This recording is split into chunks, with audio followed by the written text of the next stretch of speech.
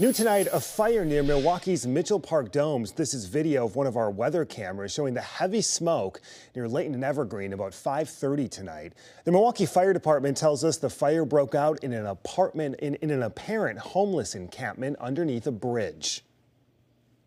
So I looked and saw the fire, and then I heard men screaming, and then someone roll out of the fire and down the hill from under the bridge. Me and a couple guys, we went down underneath, pried the fence open. The fire was close to her back, and we pulled her out.